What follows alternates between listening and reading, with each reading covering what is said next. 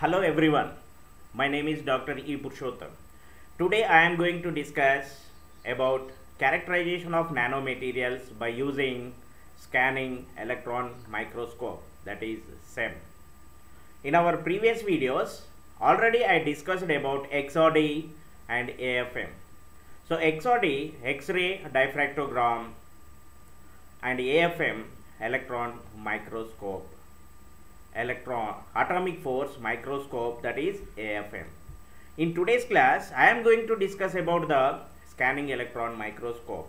So what is the working principle of scanning electron microscope? The electron beam you can observe this figure the electron beam is passing through the first condenser lens second condenser lens and objective lens. These lenses are known as electromagnetic lens the electron beam is passing through the electromagnetic lenses through the scanning coil of cathode ray tube. This cathode ray tube scans the sample surface and gives rise to sample image. From this sample image, we can characterize the sample characteristics. This is the working principle. In this technique, an electron beam is formed onto sample surface kept in a vacuum by electromagnetic lenses. The beam is then scanned over the surface of the sample. The scattered electron from the sample is then fed to the detector and then to a cathode ray tube through an amplifier where the image are formed which gives the information of the sample. This is the working principle of SEM.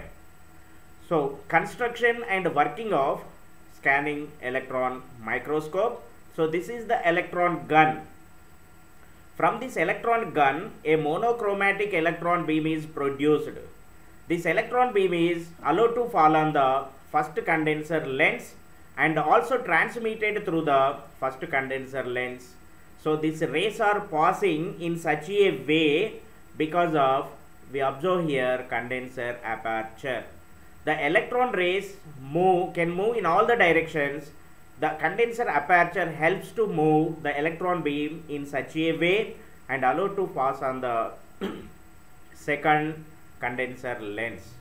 From the second condenser lens the electron beam passing through the objective aperture scanning coil of CRT cathode ray tube. The cathode ray tube scans this electron beam the electron beam is allowed to fall on the objective lens. The objective lens enlarge the image. So the electrons are electron beam transmitted through the objective lens and allowed to fall on the sample surface.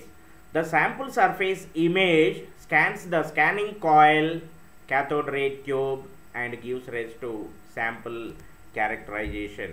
So this is also simple working. The electron gun produces a stream of monochromatic electrons. The electron stream is focused on sample or specimen surface kept in a vacuum by electromagnetic lenses. The stream of the electron beam is then scanned over the surface of the specimen interaction. From this specimen interaction, we can observe the image and characterize the sample surface. So scanning electron microscope analysis. The incident monochromatic electron beam is incident on the sample. So this electron beam scattered back and also transmitted through the sample. The scattered and reflected electron beam, the top of the surface values we can explain using the scanning electron microscope. The bottom values we can explain using the transmission electron microscope. So you can observe here top side of the thick sample or bulk sample the interactions occurring on the top side of the thick or bulk sample results in scanning electron microscope. So what I am saying the top values that is the electron beam is incident and scattered back electrons this is secondary electrons these Auger electrons and X-rays these are we can explain using the scanning electron microscope. So these bottom values we can explain using the transmission electron microscope. So in this specimen interaction, it has four more main electrons. Number one is backscattered electron, secondary electron, Auger electron and X-rays. So simply we can explain here the electron beam is incident on the sample. So it can move in the same direction with 180 degrees. This is the reflected electrons. So in the same way the electron is incident on the sample scattered back nearer to the 180 degrees. These electrons are called back reflected or scattered electrons. So this back scattered electrons depends on the sample atomic number. So if sample atomic number is more, we get more brightness image. If less atomic number of the sample, we get less brightness of the image. So we can observe here back scattered electrons. We can see here when an incident electron collides with an atom in the specimen which is nearly normal to incident path we get back scattered electrons at nearly 180 degrees. The intensity of back scattered electrons varies with the specimen's atomic number. Hence, when backscattered electrons are collected and imaged, high atomic number electrons appears brighter than lower atomic number electrons. So simply we can explain here once again the incident monochromatic electron beam is incident on the sample. And these electrons scattered back these electrons scattered back nearer to the 180 degrees. These electrons are called scattered electrons. This scattered electrons also gives rise to image the image depends upon the atomic number of the specimen. If atomic number is more we get more brightness image using backscattered electron. If atomic number is less the sample atomic number is less we get less brightness image of backscattered electrons. So second one secondary electrons. Secondary electrons the incident electron beam is incident on the sample atoms so this incident electrons emits the electrons from the atoms the released electrons, the emitted electrons are called secondary electrons. So secondary electrons. This secondary electrons also gives rise to some image. Using this image, we can scatter, uh, we can characterize the sample image. You can observe here secondary electrons. When an incident electron passes very nearer an atom in the specimen and produce secondary electrons each incident electron can produce several secondary electrons, hence image formed collecting secondary electrons gives the topography of the sample. Once again, I am telling here the incident electron beam is incident on the sample specimen atoms and released or emitted the electrons are called secondary electrons. From these secondary electrons, we can observe the topographical image Using this image, we can characterize the sample surface. So third one, these are the Auger electrons. So this is third one, Auger electrons. So the incident electron beam, this is the incident electron beam. The incident electron beam is incident on the sample atoms and the electrons are emitted as secondary electrons.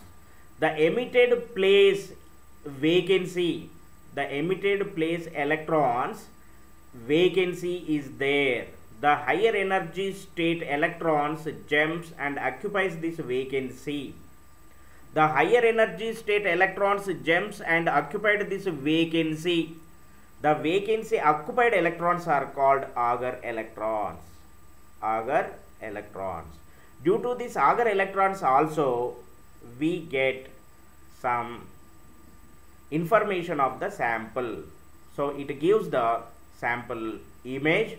Due to this image, we can characterize the sample surface. So we can observe here during the emission of secondary electrons a lower energy electron is released thus leaving a vacancy into inner shell. A higher energy electron from the same atom can fall to the lower energy filling the vacancy. The surplus energy is released by the emission of outer orbit electron. These electrons are called Auger electrons. They have a characteristics energy. These electrons are collected and sorted according to, according to their energies to give compositional information about the sample. So fourth one X-rays. Fourth one X-rays.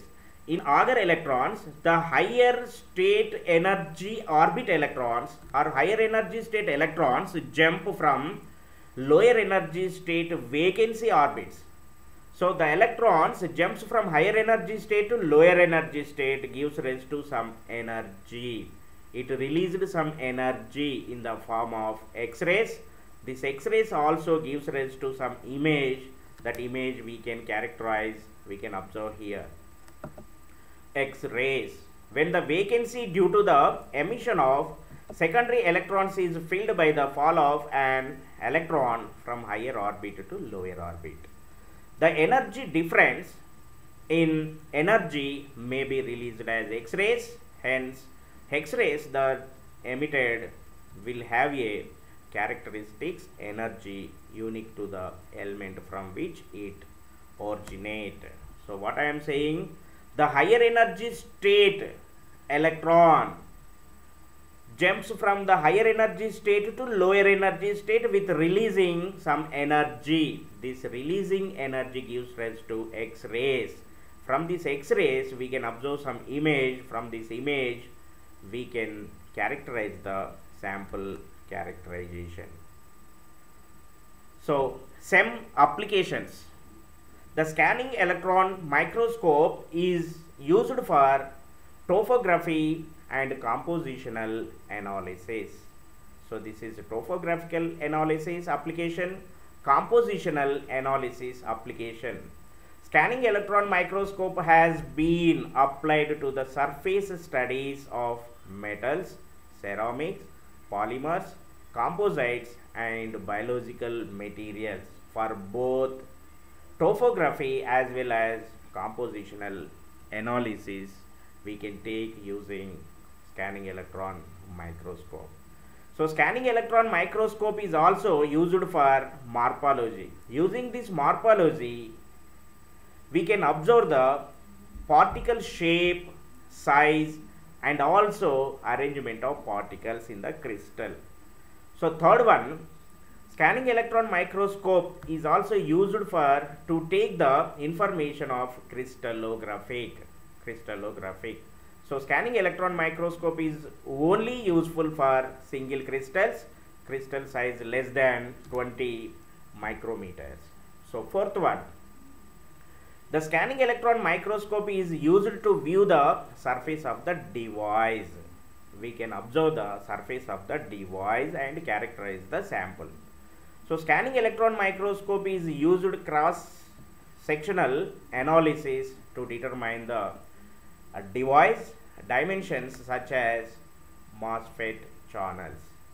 So the scanning electron microscope is used to cross-sectional analysis.